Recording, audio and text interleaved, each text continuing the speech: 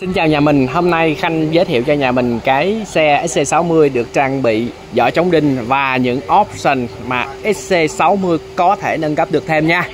Thì chiếc xe này hôm nay vào bên Khanh để phủ chống đinh trên vỏ xe và quý anh chị nhìn thấy đây là cái xe của phiên bản Recharge, tức là chiếc xe không có bánh xe dự phòng.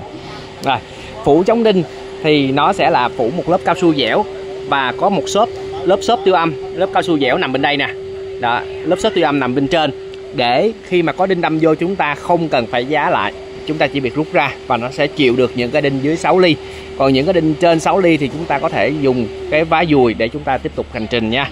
Rồi ngoài ra thì nó sẽ chống nổ vỏ do cái lớp cao su này nó sẽ bịt kín lại cái cái những cái lỗ nó không bị thoát hơi nhanh. Rồi thì cái chiếc xe này hôm nay vào bên khanh để phụ chống đinh thì khanh cũng chia sẻ cho nhà mình à, những option mà XC60 quý anh chị có thể cân nhắc và lựa chọn nâng cấp cho mình để chiếc xe của mình hoàn hảo thêm nha. À, đầu tiên đó là hệ thống thanh dàn Polestar. Đây hệ thống thanh dàn Polestar. Đó.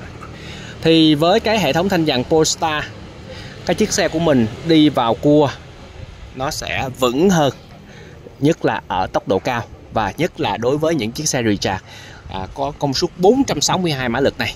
Thì cái việc mà đi vào cua ổn định à, chúng ta lách qua lách lại ở vận tốc cao thì rất là cần một cái thanh dàn động cơ này để cho chúng ta có một cái cảm giác lái nó tốt hơn phấn khích hơn. Rồi đó là về phần à, thanh dàn động cơ. Rồi còn bên ngoài thì vỏ xe thì phủ chống đinh đó, để cho nhà mình không cần phải lo lắng về việc đinh đâm vào khi di chuyển trên đường. Đối với bộ phanh xe Volvo thì Khanh đã nâng cấp chiếc xe này. Bộ phanh ceramic để không bị tiếng kêu cọt cọt mỗi lần phanh nó nghe khó chịu. À, bộ phanh của Volvo nguyên bản thì không phải là bộ phanh tệ nhưng cái tiếng kêu đó khi mà về thị trường Việt Nam làm chúng chúng ta lấy chiếc xe đó rất là khó chịu thì nâng cấp lên bộ phanh ceramic hiệu quả phanh cao hơn không còn tiếng kêu không bị dính bố phanh và giải nhiệt bố phanh nó nhanh hơn cũng giống như là không tạo mặt cưa trong quá trình chúng ta sử dụng phanh. Đó, đó là à, hiệu quả của bố phanh ceramic. Và nhìn nhận thấy được đầu tiên đó là tiếng kêu không còn. Rồi à, trên chiếc xe này thì quý anh chị có thể à, cân nhắc cho mình cái tính năng đó là lùi ghế khi mà đóng và mở cửa đó, mở cửa ra ghế nó lùi xuống và đóng cửa lại ghế nó chạy lên và chạy cả hai ghế nha. Rồi đề nổ từ xa và lên bốn cánh kiến tự động. À, chúng ta sẽ có thể cân nhắc cho mình một lựa chọn đó là cái bộ gương gương chiếu hậu kỹ thuật số gắn vào trong xe nha. Gương chiếu hậu kỹ thuật số nó sẽ thay cho cái gương chống chói điện tử bình thường của cái chiếc xe mình. Rồi trên màn hình thì nó sẽ có cái à, chúng ta có thể cài Google lên màn hình. Đó nó sẽ hiển thị à, Google Maps đây Google Maps nè. Đó hiển thị Google Maps vào vị trí này vào vị trí này và hiển thị kính lái luôn. À, Google Maps nè. À, và sử dụng chính cái sim 3G chính sim data của chiếc xe để chúng ta có thể là à, sử dụng à, dữ liệu của Google Maps nha. Ngoài ra thì đối với những à, một cái thông tin hay mà Khanh muốn chia sẻ cho nhà mình đó là hệ phần mềm à, lên Android 12 lên Android 12 nha. Đây Khanh vào cho nhà mình coi nè. À, phần mềm Android 12 đây Android 12 version 12 nè. Không biết nhà mình có thấy không? Nó là Android 12 đây. để Khanh mở lên. Ừ, thì khi mà lên Android 12 lên Android 12 thì cái chiếc xe của mình á nó sẽ là có thêm cái phần giọng nói trả lời tin nhắn á.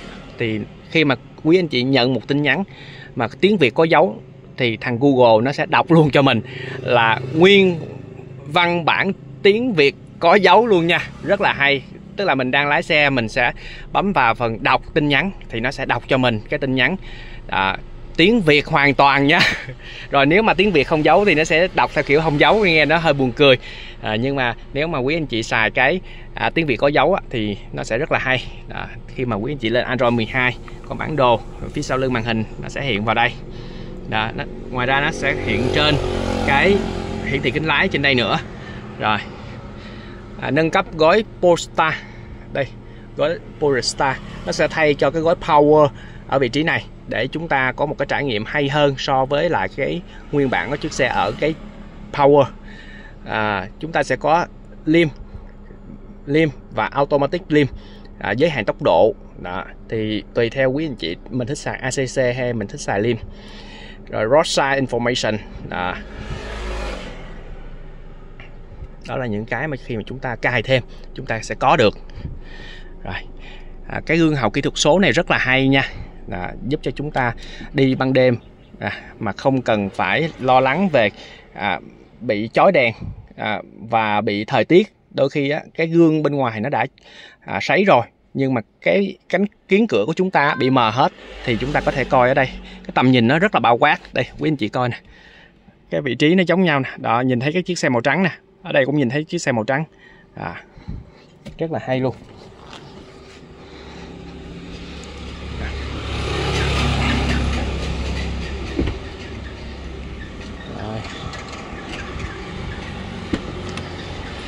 Còn một số anh thì hỏi khanh là cái gương cái camera nó gắn ở phía đâu thì camera nó gắn phía sau đây nè. Thì nó không bị ảnh hưởng của điều kiện bên ngoài nha. Do cái gương của chúng ta là có sấy rồi. Và nếu mà nó có dơ đi nữa thì nó vẫn còn cái cây gạt mưa. Thành ra là nó không bị ảnh hưởng thời tiết luôn. À, không bị ảnh hưởng thời tiết. Rất là hay. Cây gạt mưa này chúng ta sẽ gạt lên ngay vị trí này luôn.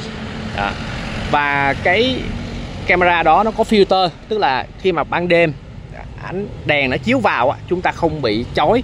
Đó, đó là sự lợi hại của camera kỹ thuật số khi mà chúng ta trang bị cho chiếc xe của mình. Đó là những cái món nâng cấp mà quý anh chị có thể cân nhắc khi mà chúng ta sử dụng một chiếc xe Volvo. À, nó rất là hay và rất là hữu dụng luôn. Cảm ơn cả nhà luôn quan tâm theo dõi các video của Khanh. Xin chào và xin hẹn gặp lại ở nhiều video sau nha.